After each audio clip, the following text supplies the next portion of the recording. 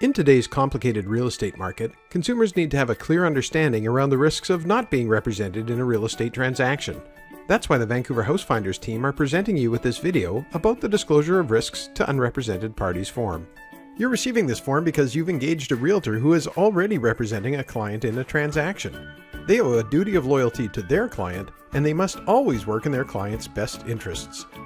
That means a realtor has a legal duty to disclose to their clients all important information, including any information you share with them, such as your motivation for buying, selling, or leasing, your maximum or minimum price, your preferred terms and conditions. Be cautious about sharing information with a real estate professional who represents a client with opposite interests to yours.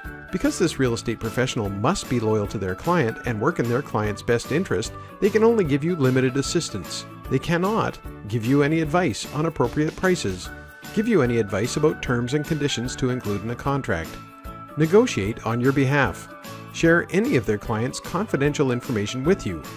They may only share general information and real estate statistics, show a property and provide factual information about it, provide you with standard real estate forms and contracts, fill out a standard real estate contract, and communicate your messages and present your offers to their clients. Having a real estate professional to represent you and provide you with expert advice can help you successfully navigate a real estate transaction. That's why the Real Estate Council of British Columbia strongly recommends you seek independent representation in this transaction.